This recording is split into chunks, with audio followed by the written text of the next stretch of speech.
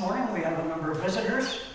We're glad to have you with us. And uh, if you'd like to take a moment, we do have a guest book there at the back. I'd to have you sign that to acknowledge that you are present with us this morning. Also, many people worshiping with us today as we, uh, as we worship through Facebook and YouTube. And we're glad that they are with us as well.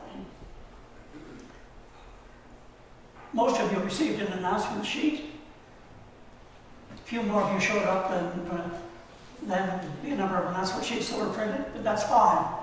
You can share.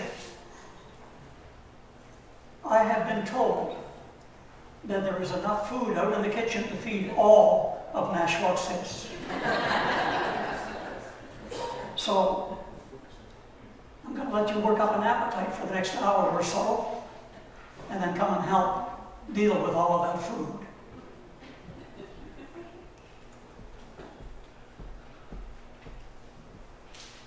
Are there other announcements to be made this morning?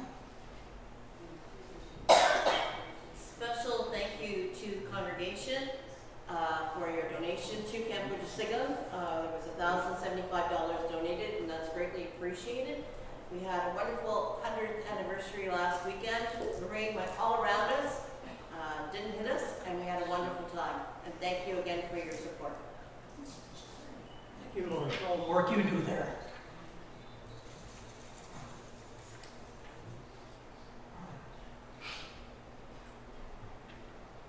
Each morning when we open our curtains and look outside, we hope to see some light, perhaps some sunshine, along with the rain. Each Sunday we come to church. We have the Christ candle in front of us. And as we light it, it is a symbol that that light of Christ is with us not only in our worship, but when the worship is over and the candle is extinguished, we take the light of Christ home with us.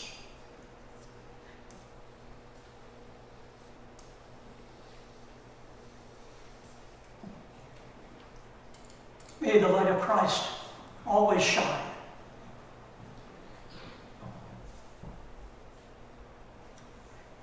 I invite you to join me in the invitation to worship as we invite one another. Together, let us gather our hearts and minds from busyness and bothering, from worry and weariness, from distraction and despair. Together, we gather our hearts and minds for prayer and praise for singing and movement, for wonderment and joy. Let us worship God in the beauty of holiness, and let us pray together. Ever living God, who offers grace to all who come to you, glad of this holy place and sacred time, when we can come aside from that which would drag us down or keep us from being aware of your presence.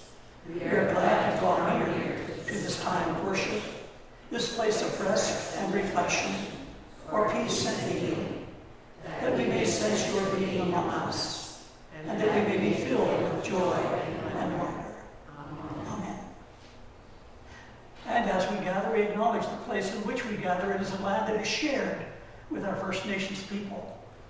We are grateful for this sharing, not only of the land, but of times that we can spend together, enriching one another with our various ways of worship and celebration.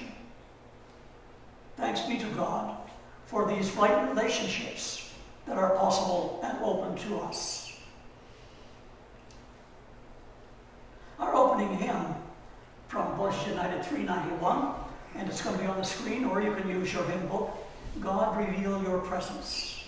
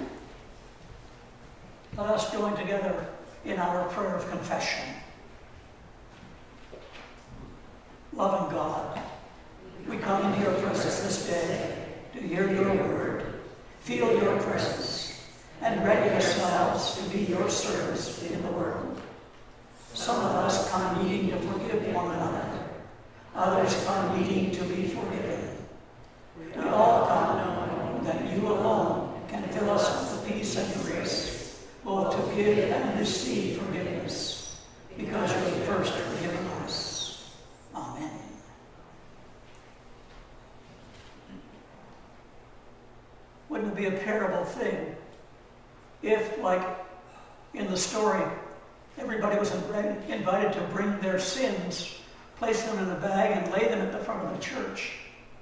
And then, as the service ended, they all went and picked up their sins and took them home again. That's what the assurance of pardon is all about. If you confess your sins before God, they are forgiven. You don't need to carry that burden with you when you leave this place. God is a God of forgiveness. We proclaim our faith each and every week as we stand together and recite the words of our new creed.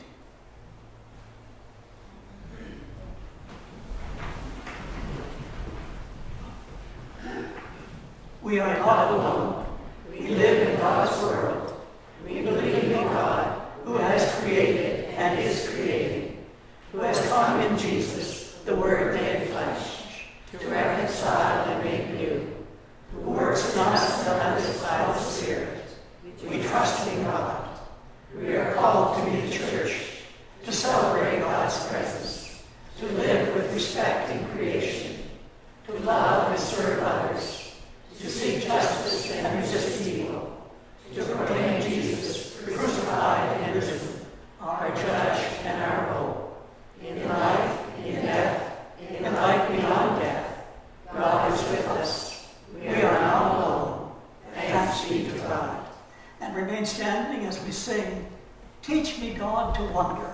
It's in our Voices United hymn book at 299.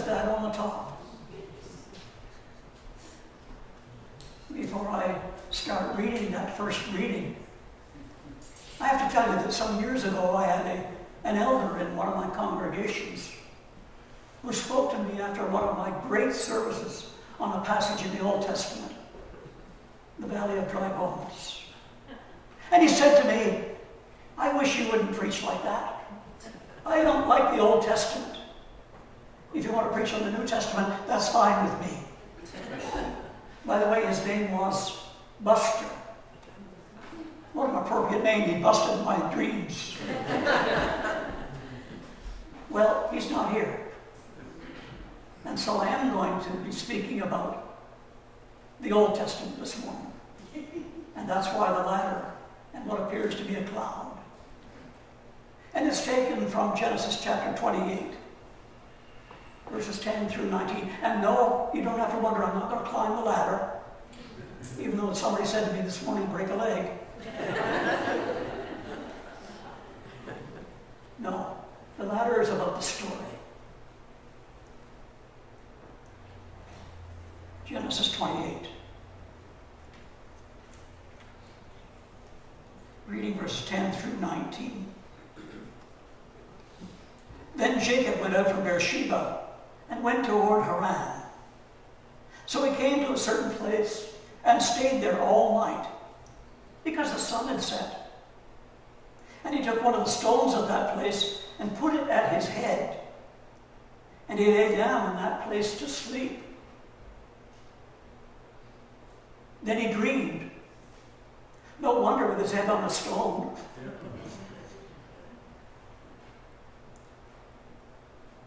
And behold, a ladder was set up on the earth, and its top reached to heaven. And there the angels of God were ascending and descending on it.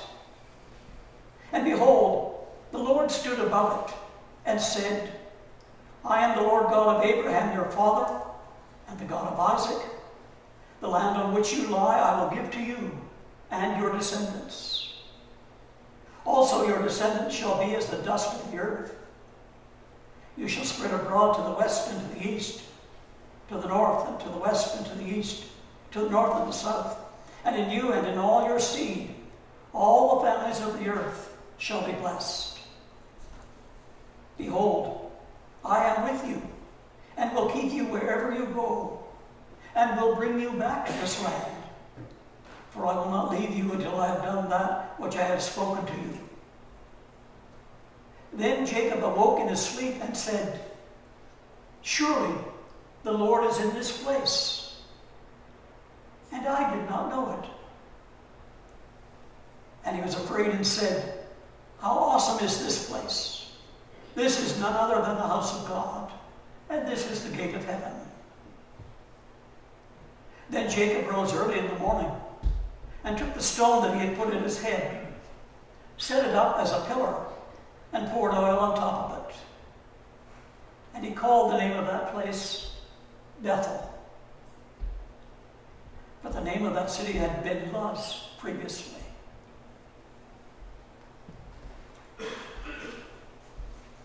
Our second reading is one of the parables of Jesus.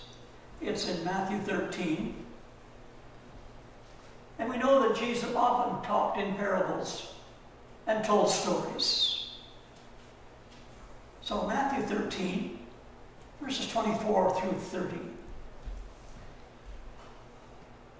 Another parable he put forth to them, saying, The kingdom of heaven is like a man who sowed good seed in his field. But while men slept, his enemy came and sowed tares among the wheat and went his way. But when the grain had sprouted and produced a crop, then the tares also appeared. So the servants of the owner came and said to him, Sir, did you not sow good seed in your field? How then does it have tares? But he said to them, An enemy has done this. The servant said to him, Do you want us then to go and gather from them up? But he said, No, lest while you gather up the tares, you also uproot the wheat with them. Let both grow together until the harvest. And at the time of harvest, I will say to the reapers, First, gather the tares and bind them in bundles to burn them, but gather the wheat into my barn. May God grant us understanding of these and other stories that we read in Scripture. And may these stories find root in our lives and may they grow like good seed.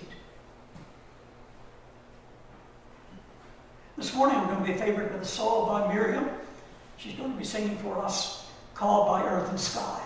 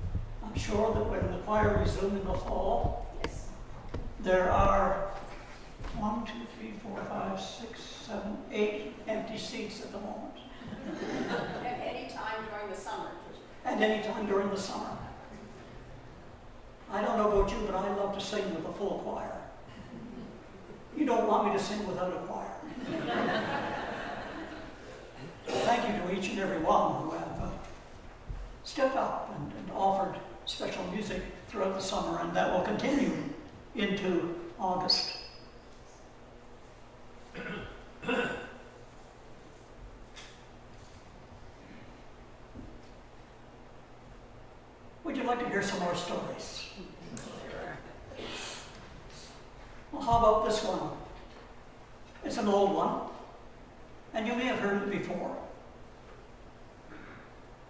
A couple had been married for many years. One day, as they were traveling by car, the conversation turned to a discussion about when they were first married. And one said to the other, We used to sit so close together. All these years later, look at the distance between us. And said the driver to the passenger, I haven't moved. well, let's give that story a spiritual slant. That if you have had the sense that the closeness you once felt to God is not a present reality, guess who moved? I've got a clue for you. A strong clue. It wasn't God. As the story this morning, another one of the stories this morning tells us. In the early history of the Old Testament, there was a sense that God must be found only in particular places. You either had to go near the Ark of the Covenant or the tent of meeting, or once the temple was built, you could only worship God if you came to the temple. That's why Moses was so surprised to encounter the burning bush, and when he got close, he was told, Take off your sandals, for the place where you are standing is holy ground. And then we come to the story of Jacob and the ladder. In his dream, how many of you get up first thing in the morning try to remember your dream you had the night before? Within a few minutes, it, it kind of disappears unless you stop and write it down. Well, somehow, Jacob remembered the dream and spoke about it later. But in his dream, he had a conversation with God. And he saw in his dream a ladder in which angels were going up and down, up and down, even up through the cloud at the top of the ladder. And God stood above the top of the ladder and spoke to Abraham, to, uh, to Jacob rather. When he awoke the next morning after his uh, lovely sleep on that rock pillow, he said to himself, Surely the Lord was in this place. And I did not know it. Surely the Lord was in this place, and I did not know it.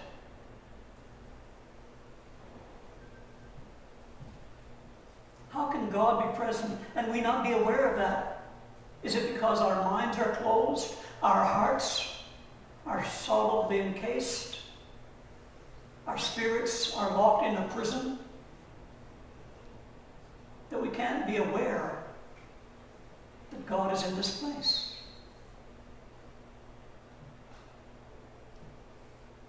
Jacob's awareness of God's presence between Beersheba and Haran became a holy place. And even though his head slept on a stone, he took that stone and a few others and he made of it a pillar. A holy place. And when he had completed the pillar, he poured oil on it to remind himself and others that this was a place where he had experienced God's presence.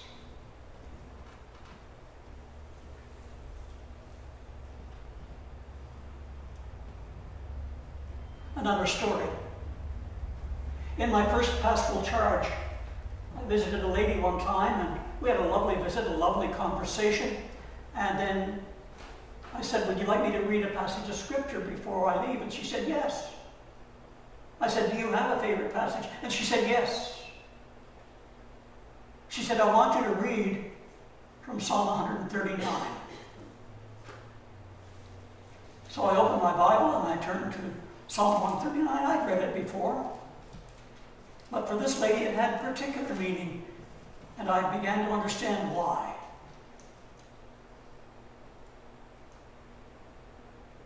It's a Psalm of David. Let me read a few verses from it.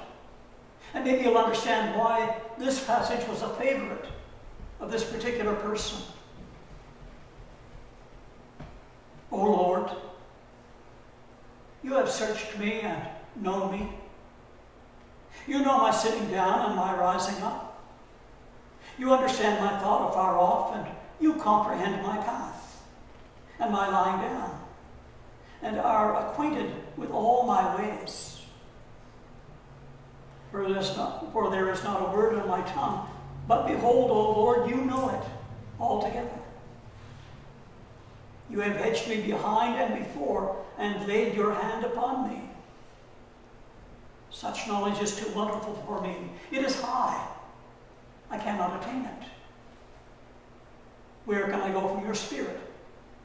Or where can I flee from your presence? If I ascend into heaven, you are there.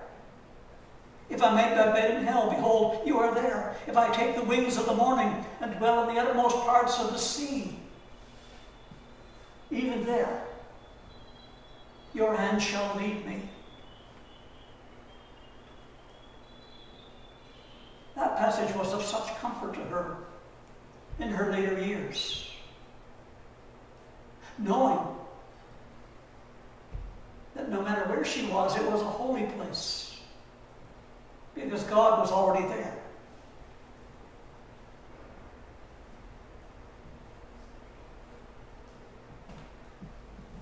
God, where can I escape from your presence? Will it be in heaven? No, because that is God's place. Will it be at the grave? Yes, God has been there too when Jesus was laid in the tomb. Is God at the dawn of the new day? Of course, why not? He created morning and night. Or at the sun's furthest limit. Or when darkness covers the land. It has turned to light. God, you are even there.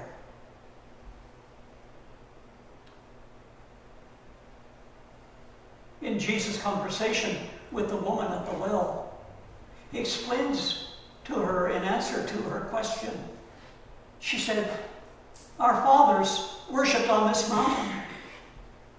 But you Jews say that the only place where one ought to worship is in Jerusalem. Which is it? On this mountain or in Jerusalem? And Jesus replied to her, The hour is coming when you will neither on this mountain or in Jerusalem worship the Father.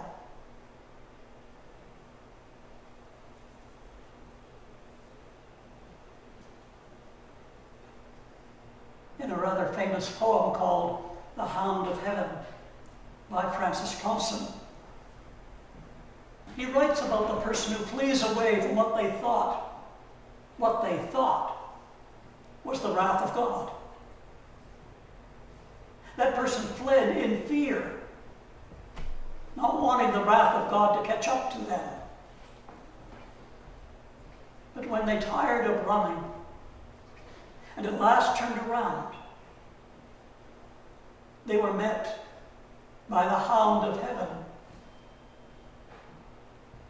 known also as the mercy and forgiveness of God. Even Jacob, nicknamed the trickster, for all the tricks that he played on his family, could not flee from the presence of the Lord.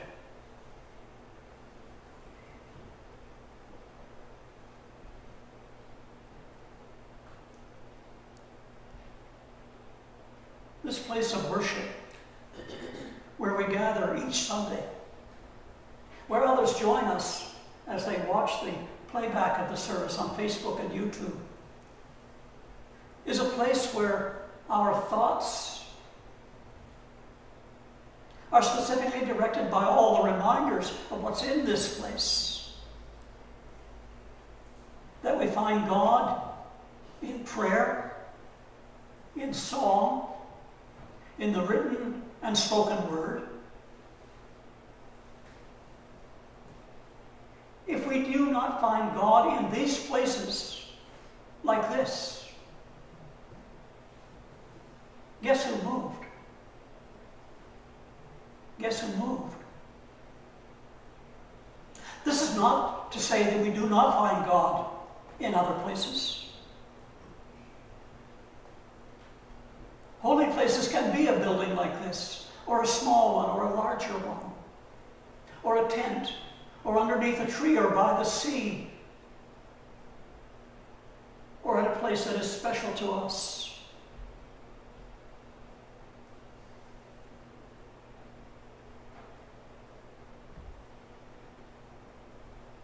When we find that we are in the presence of God, that becomes our holy place. A place where we are aware that God is present.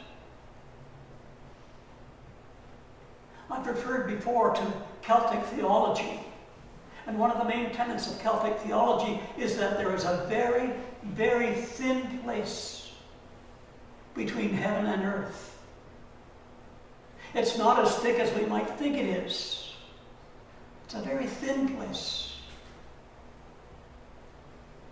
And God breaks through that thin place when we are open to that holy presence. Brother Lawrence, a monk of earlier centuries, wrote a book called The Practice of the Presence of God.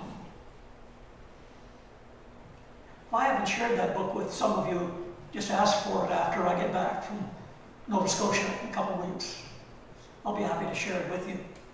I love sharing books, as some of you know. And some share books with me too. I'm taking a couple of them to Berwick with me this week.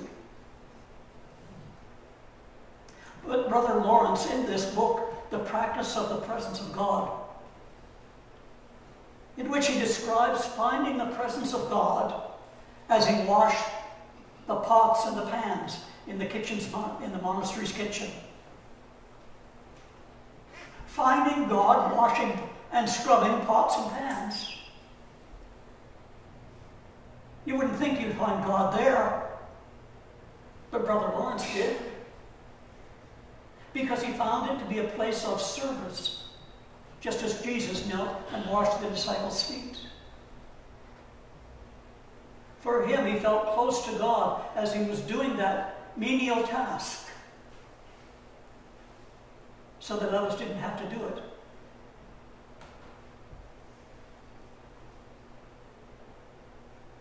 I could tell a lot more stories, but I know there's a lot of food out there in the kitchen. There'll be other times I can tell more stories.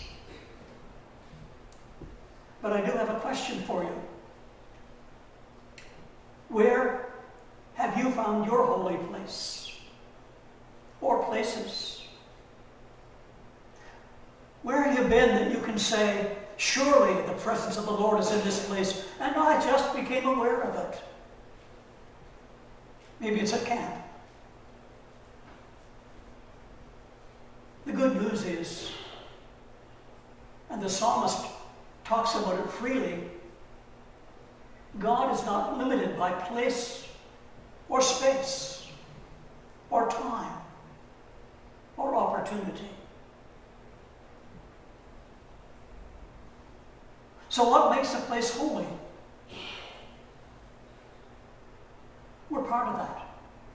We make it holy when we stop, maybe dream, maybe think, maybe meditate. God, are you here?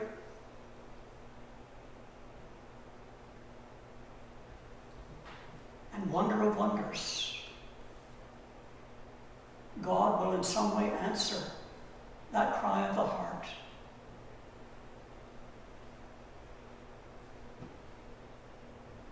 In the remaining, in the remaining months of this summer,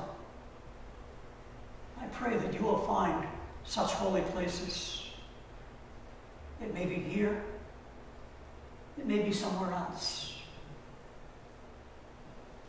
Maybe you've had a bad night. Maybe you've slept on a rock, like Jacob.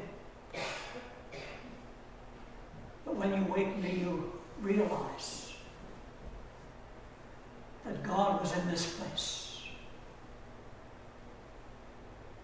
God was present,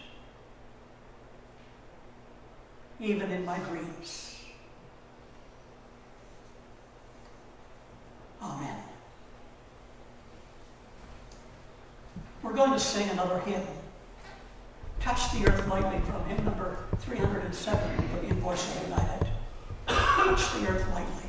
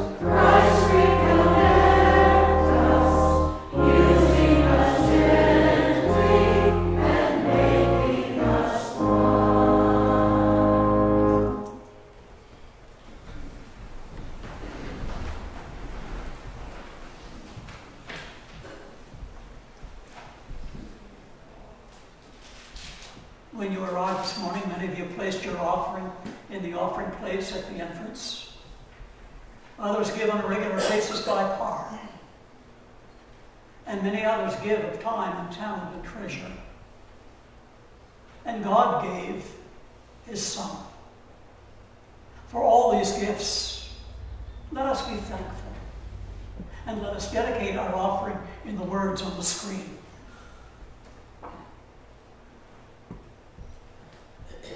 when you call us to be open, to be your disciples.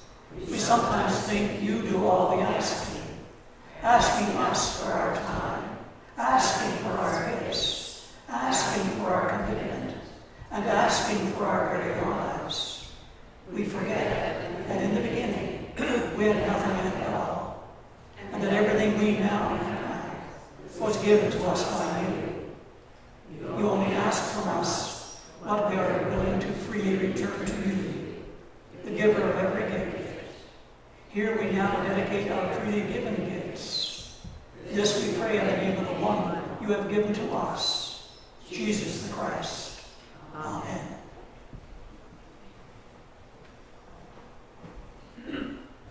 And yet some more giving. We now have a trio who are going to sing, Come to My Heart.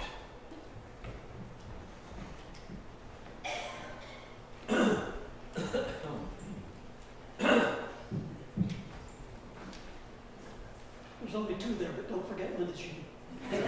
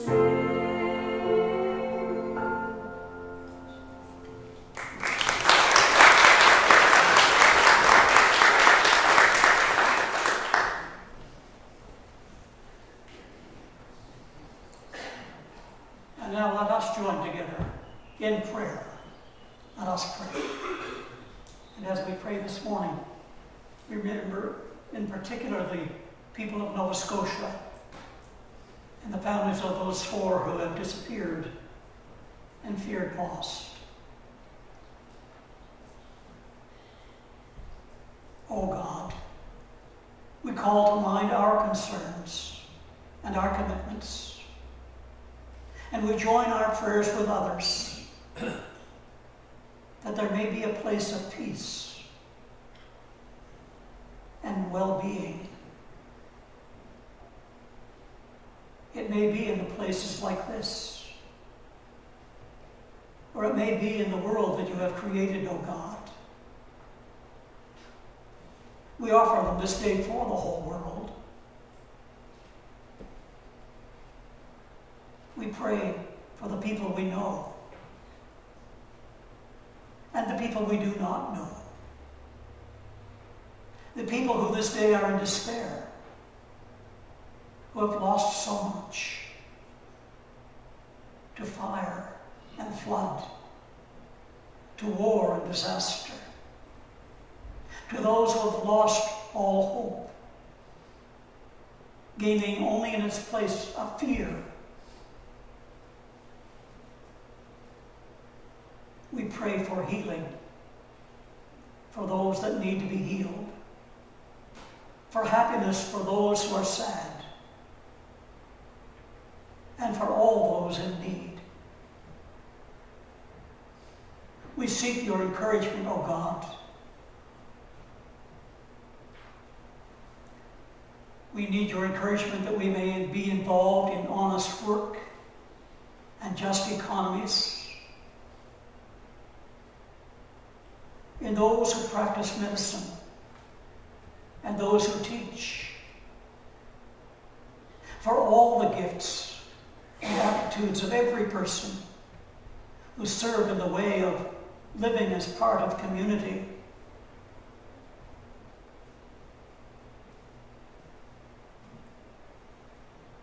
We pray for peace on earth, for the generous sharing of the earth's resources, and for the responsible sharings of all earth's problems, for understanding of others, for the willingness and openness to regard the great diversity of human culture. May it be for us more stimulating than threatening. For the turning of swords into plowshares and spears into pruning hooks and bombs into hope.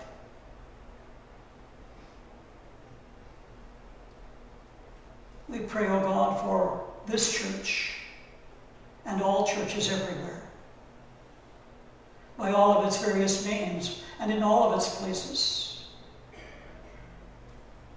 May the church be a, a continuing place and a channel of grace and hope for its witness to love and unity and justice, for its commitment to hospitality and compassion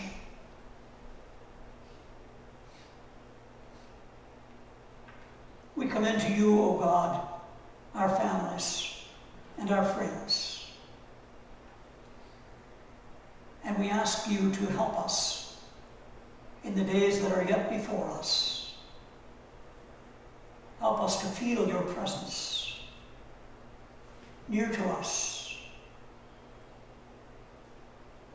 We offer this prayer in the name of the one who did come near to us in human form who taught his disciples and all his followers to pray using these words Our Father, who art in heaven, hallowed be thy name. Thy kingdom come, thy will be done on earth as it is in heaven. Give us this day our daily bread, and forgive us our trespasses, as we forgive those who trespass against us. And lead us not into temptation, but deliver us from evil. For thine is the kingdom, the power, and the glory, forever and ever. Amen.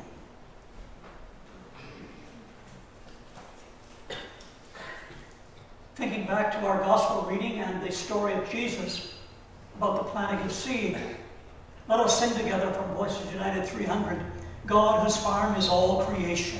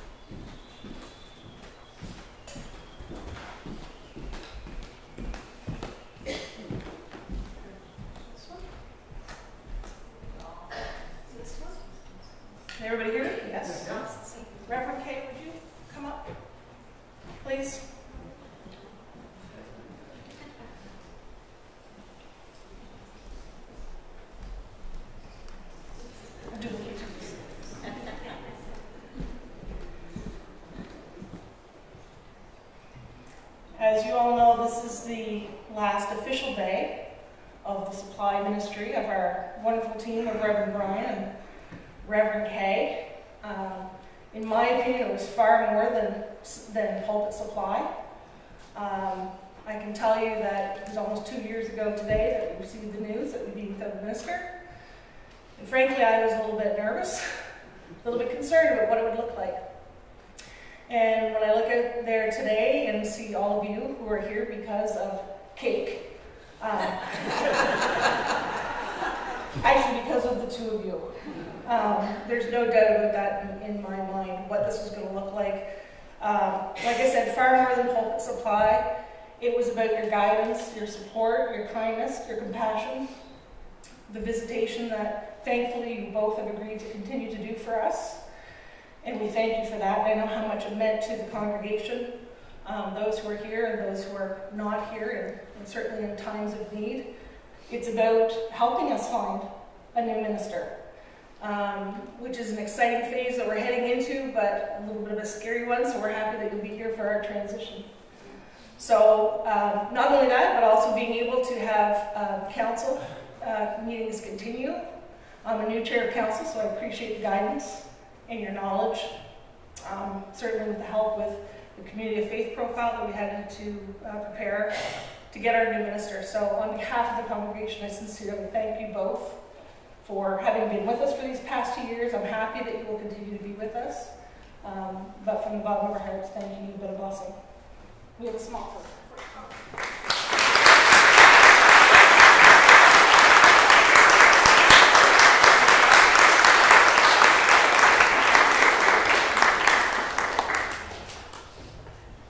I think there's some other people behind me. I'm behind you.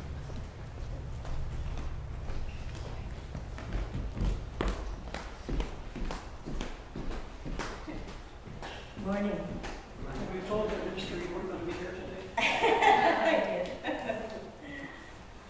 When I first started my position at Nashwaaksis United, I was only here three months before Nathan left. I was so happy to hear Reverend Kay and Reverend Brian had agreed to share the supply ministry position. Throughout the last two years, they've both been a great support and blessing to me. In Galatians 5, verse 22, Paul speaks of the fruit of the Spirit love, joy, peace, patience, kindness, goodness, faithfulness, gentleness, self control. Does this remind you of anyone? If there were pictures in the Bible, there would be one of Kay and Brian beside this passage. when my family and I attended Nashwaaksis United back in the 90s, Kay and her family were here too. So I feel like I've known Kay for many years. But that's the way you feel around Kay, as if she's been a friend that you've known and loved forever. She has such an open and comforting presence and personality. You feel like you can talk to her about anything. She really listens to you and has interest in what you have to say. I really love and appreciate that about you, Kay. I don't see Kay in the office that often, so it's a real pleasure when she does come in. Although she may not be there in person, I can rest assured she is always there when I need her, always just an email or a call away. The congregation can rest assured as well. Kay has always been there for them through her Sunday services, visitation ministry, several funerals, the odd wedding or baptism, or just as a friend to talk to. I'm really happy for you, Kay, that you'll be able to spend more time with Dawn and your family. I knew Debbie long before I knew Brian from our involvement in Women's Institute. I only knew Brian as Debbie's husband, who was a minister. I always looked forward to Brian popping into the office as well to make phone calls before visiting or to share something special he was going to be speaking about on Sunday morning, quite often with a prop or two. One thing I love about Brian is his sense of humor. One day he came into the office and told me a woman had just been gazing deeply into his eyes. He had just come from the optometrist's office. Brian has lots and lots and lots of stories from his many years in ministry. Some are funny and some sad, but all book-worthy, which I think you should write someday, Brian. One other thing about Brian, he loves to tease. I try to be very careful not to misspell his name, which I have done many times as Brain, not Brian.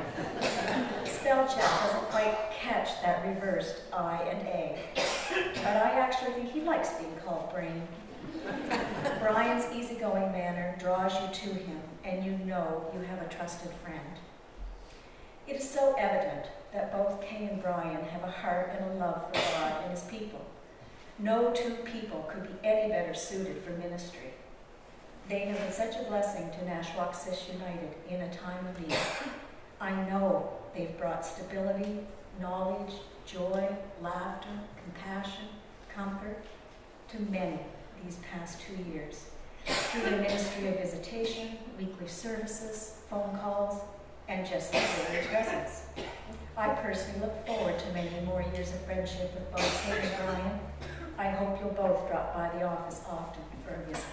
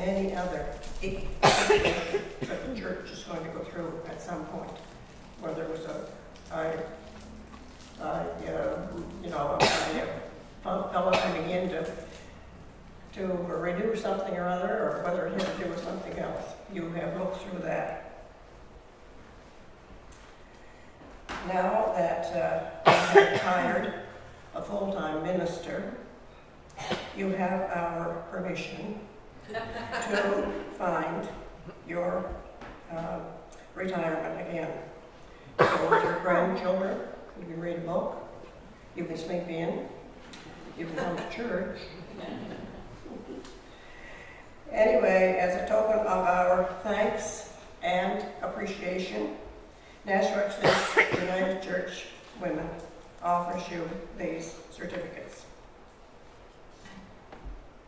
Okay.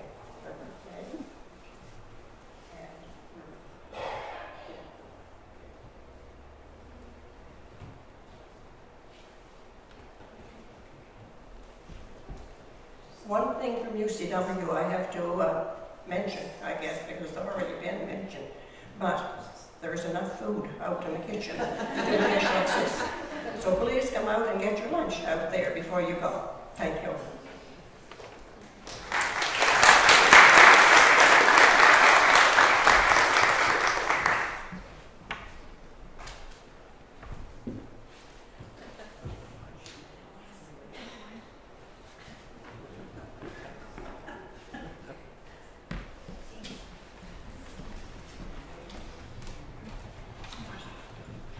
Good morning. Sorry about the cough. It comes and goes. It's my pleasure to speak on behalf of the Pastoral Care Committee. We have had a committee potluck in June when we gave a s- card and a small gift to Reverend Brian and Reverend Kay. Today, as we celebrate the work of Reverend Brian and Reverend Kay at Nashwaaksis United Church, the Pastoral Care Committee want to say a huge thank you to each of you for your support, your kindness, your compassion and caring, and your time and energy that you gave so freely to us. and to the Nashwauk City Worship, Nashwaaksis Worship Committee. May God bless you both with good health and much joy and happiness today and always. Hugs and much love to both of you from all of us on the Pastor Care Committee. Now, my grandkids used to give us hoogly hugs on the computer because we couldn't get together during COVID, and it was one like this. Get that from all of us. Plus one for me too.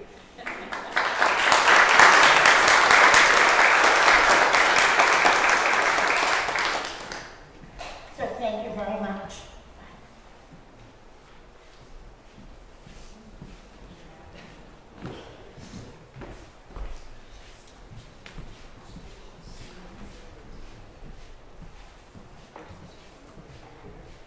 First of all, I, I'd like to see both of you sit down. You might enjoy it.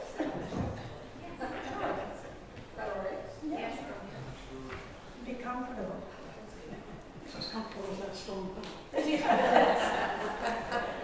Um, Good morning. I'm Jeannie Whitehead and I'm Chair of the Worship Committee.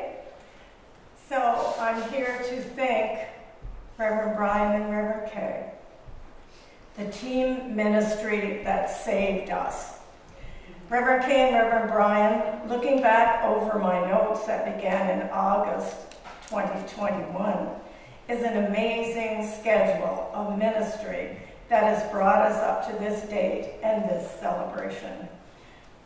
I've known Kay for many years as she and Dawn with their children were part of our congregation and then Dawn and their children would come without Kay as she was in Halifax studying for the ministry. Their life evolved from there following Kay's various ministerial positions throughout the province. However, I never had never met Brian. When I approached Kay with an ask to supply until we found a full-time minister, she mentioned having worked with Brian in past and that she might consider a team ministry supply if Brian was in agreement. I contacted Brian, and there the match was made. We sat down together with the calendar, and the two-year journey began. What an amazing pair of ministers to work with. Kay brought her skills to the table, and Brian brought his. And what a cohesive package. We love them both, and we're eternally grateful for your ministry at Nashwaaksis United.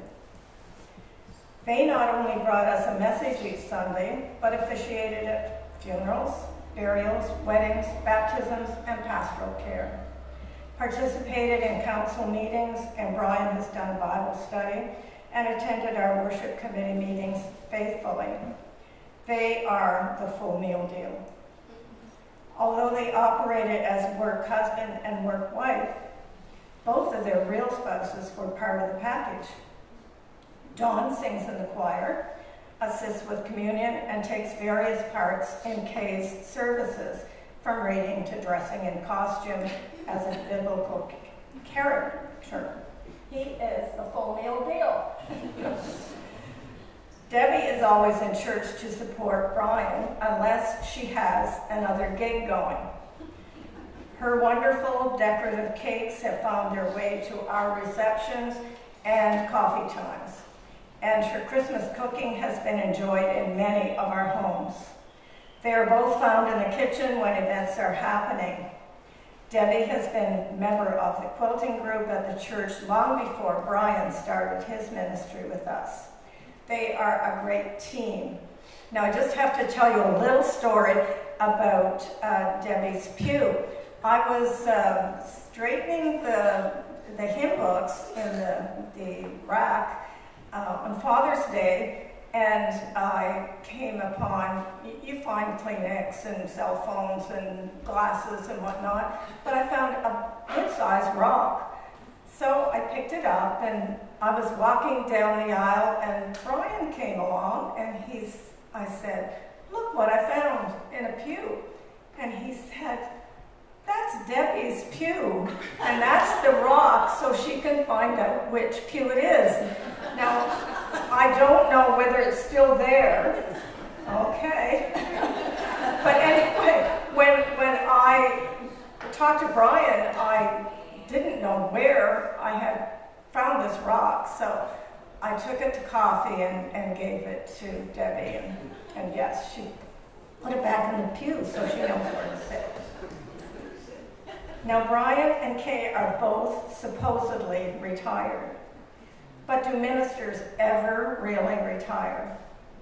Perhaps now they will have more time to do some of the things that retired people should be doing, but I'm sure it'll be short lived.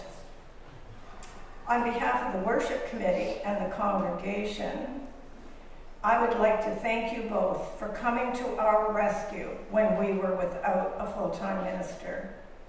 We could have not asked for a better fit. And as my daughter-in-law once said about Vince and I, when she was uh, talking to her colleagues about her in-laws, I couldn't have gotten better if I ordered them in the Sears catalog. I would like to present each of you a small gift from the worship committee.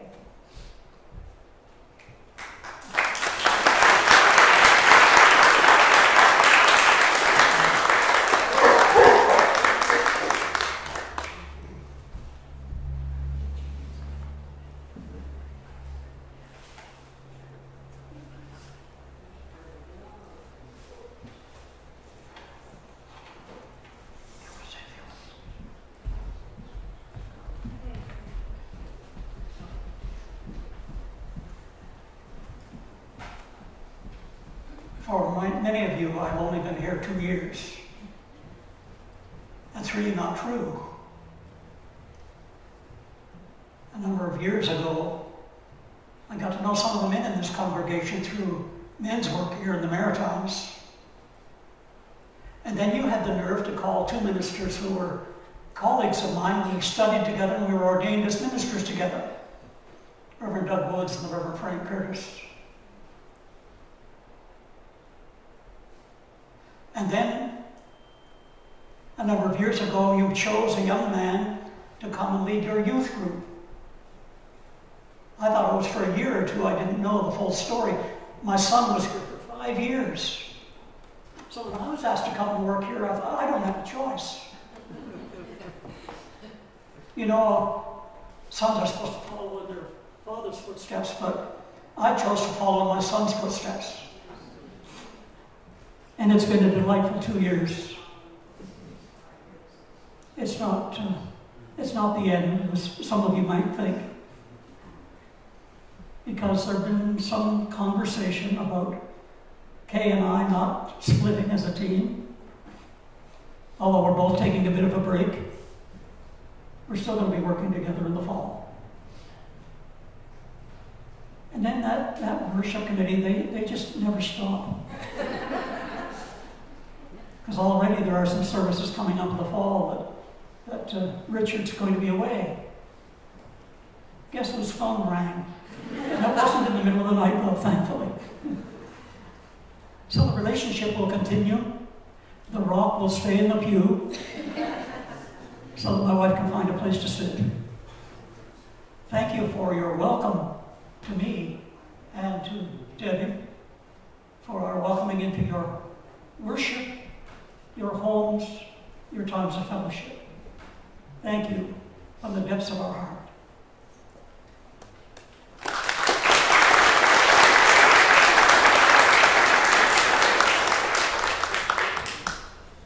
Wow, what do I say after all that?